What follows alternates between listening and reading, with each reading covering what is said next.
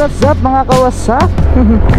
so ngayon for today's video Wow Ay may nagtatanong sa akin kung ano daw bang klaseng vlogging setup ko para sa pagmamotovlogging So paano ko ba umpisahan to? So dalawa lang naman talaga mga kawasak yung ginagamit ko sa pagbablog Katulad kapag ka mga normal vlogging lang is dalawang camera lang Which is itong GoPro Hero 9 Tapos itong Insta 360 1X2 So hindi to latest parehas Kasi nung binili ko tong GoPro Hero 9 Ito na yung pinaka latest Nasa Japan pa ako.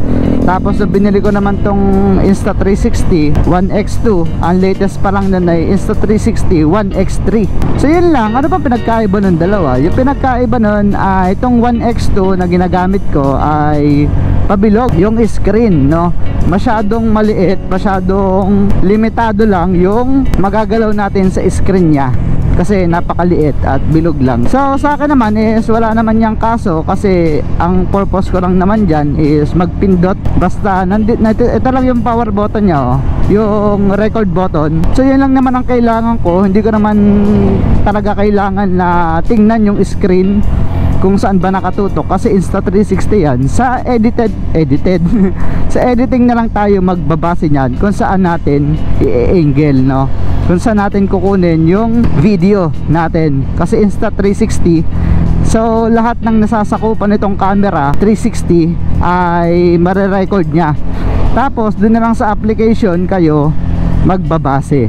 So dito naman kapag sa voice ko at saka sa record sa helmet ay is itong GoPro natin GoPro Hero 9 So yung voice ko kung magtataka kayo katulad nito kung bakit na nakakaimik ako kahit nasa secondary camera tayo nandito sa Insta360 ina-overlay ko lang yan. So ipinapatong ko lang yung record ko nitong ating GoPro kasi nandito yung ating mic dito sa ating Insta360 yung record nitong ating camera na Insta360 no? Ipinapatong ko lang yan. Parang sa umpisa kailangan mong pag ipagtama kung saan ba siya pumantay sa record tapos ikakat nyo na lang yon ang mahalaga lang naman dyan yung audio sa dapat ay hindi maputol para yung timing ay hindi mawala. So kung makikita nyo guys dito sa ating GoPro meron tayong media mode ito.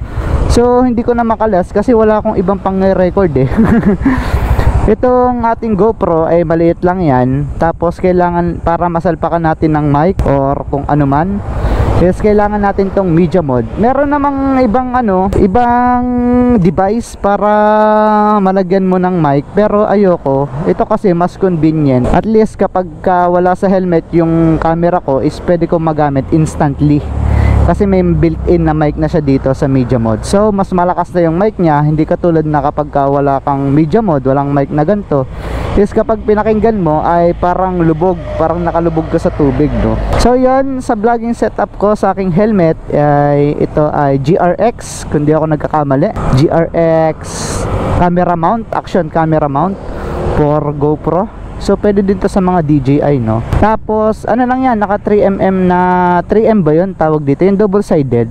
So kasama na siya doon. Tapos itong ating mic sa loob ng ating helmet is kinable tie ko lang diyan kasi aalog-alog. Napapakinig kasi kapag ka malakas yung hangin is aalog-alog yung ating mic nag kokos siya ng ano mo yun yung pag basta yung parang nag-shake shake na tunog kapag ka hindi tinanggal to So, ang ano naman itong ating mic, ang brand ay Purple Panda which is sa Japan ko pa ito nabili itong mic at saka itong GoPro. Media mod sa Japan din. Itong handle ng ating Insta360 is sa Japan ko din nabili. Tapos itong Insta360 sa Japan ko din yan nabili. So, hindi ko alam kung magkano yung presyo dito sa Pinas. So, eh, research niya lang. So, yun lang naman yung gamit ko sa pagmumoto vlogging. So, yun. Tapos, ano pa nga ba? Siyempre, kailangan nyo ng laptop kung meron kayong mga gantong device. Pwede naman ng cellphone kaso nga lang is napakahirap gumamit ng cellphone kapag uh, galing pa sa camera ang inyong video o kaya yung inyong audio no ang hirap sa cellphone mas madali talaga sa laptop instant saksak mo na lang tapos copy paste. Tapos ilagay mo na sa inyong editing software. Like ang gamit ko ay Filmora 9 Wondershare Filmora 9 Tapos guys, kung ang gamit nyo naman ay cellphone, may nabibili din naman na holder na pwedeng ilagay sa helmet o kaya pwedeng ilagay dito sa katawan para sa inyong smartphone. So may nakikita din ako nagbablog na ang gamit ay cellphone. Kaso nga lang pag dito sa harapan is medyo nasasakupan tong ano, tong mukha nyo, yung vision nyo. So hindi ko advisable yon kapag pwede kung nakahiga yung cellphone nyo. Pero kung hindi naman iPhone, ano ba yung may ano stabilization na na iPhone? Kasi may iPhone na, na stab- may stabilization eh.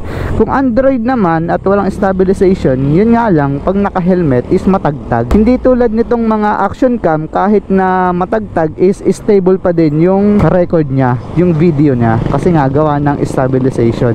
So nagtry na din ako dati na mag-record sa cellphone kasi yung mga panlagay ko naman sa GoPro, yung panlagay ko dito sa dibdib is pwede naman ng smartphone. Tinry ko siya kaso nga lang maalog. And then, yun lang. Ako cellphone naman ang gamit nyo, okay na sa CapCut kayo mag-edit, no? So pwede nyo ilagay dito, pwede nyo ilagay sa chest nyo and CapCut na yung bahala. Doon nyo lang i-edit sa CapCut, mas madali. So yung pag edit sa CapCut is para lang din Filmora 9 yung ginagamit ko sa laptop. Ganun lang siya kadali gamitin. So yun lang guys, may tanong pa ba kayo dyan? Kasi may nag-comment lang sa aking YouTube kung ano nga daw yung aking vlogging setup. By the way, yung ating handle ng ano bang tawag dito, motorcycle mount ba to? Ng Insta360. Pwede din siya sa GoPro, papalitan mo lang nitong dulo.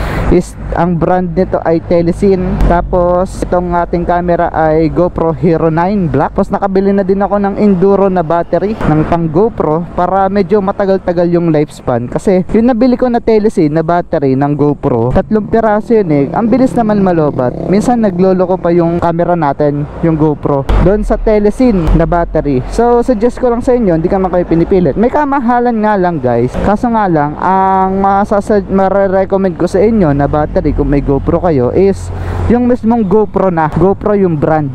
Ano? At wag na yung mga Telesin or other brand. Kasi ang hirap minsan nawawala yung audio, minsan ano, ayaw niyang mabuhay nung ano, nung camera, naghahang siya. So yun lang guys, sana nakatulong to. Itong video na to sa inyo para naman sa mga magsisimula. Wala yan kung saan ka ba magsisimula kung sa camera na mismo, kung may budget naman kayo, pwede kayong bumili ng camera. Kung mag-uumpisa kayo, pwedeng camera lang muna na GoPro. GoPro talaga. O kaya may DJI din na action cam na katulad din ng GoPro. Pwede yon. Kung mag-uumpisa naman kayo, is pwede na muna sa maliit na bagay. Katulad ko, nag-umpisa ako, nasa Japan ako, is cellphone lang talaga. So nakabili ako dati ng iPhone 10 na second hand pa yon sa Japan ha. Kasi ang latest noon, kung di ako nagkakamali, ay iPhone 11 pa lang. So ang binili ko ay iPhone 10 second hand pa kaya nakamura ako. Yun, doon ako nag-umpisa. Ang purpose talaga nung pagbili ko noon is mag-vlog kasi medyo malinaw-linaw yung camera ng iPhone tapos binilhan ko siya ng tripod tapos tawag doon yung external mic. Rode pa nga yung mic ngayon eh, medyo napamahal ako eh saglit ko lang naman nagamit. Tapos saka ako nakabili nitong GoPro after one year ko sa Japan kasi hindi naman to ganong kamura para mabili agad itong GoPro eh. Medyo may pagkamahal din din. Pero kung, kung makakabili naman kayo guys, please ingatan nyo na lang yung gamit nyo. So ito, hindi ko siya advisable sa lalim ng tubig itong ating media mod, itong ating GoPro na to na may media mod. Pero kung yung normal na takip niya na wala tong media mod, pwede siya sa ilalim ng tubig. Pero kapag ka naka media mode na tulad nito, naka setup, hindi siya pwede sa ilalim ng tubig. So, kapag nagbablog naman ako, nabutan ako ng ulan, kapag ka ambon-ambon lang, hinahayaan ko lang, hindi naman siya nasisira pa. So, yun lang guys. Huwag niyo lang ilublob sa tubig nang naka-selpak yung media mode. So, yun. Sana nakatulong ako kahit pa paano sa mga gusto mag-umpisa dyan.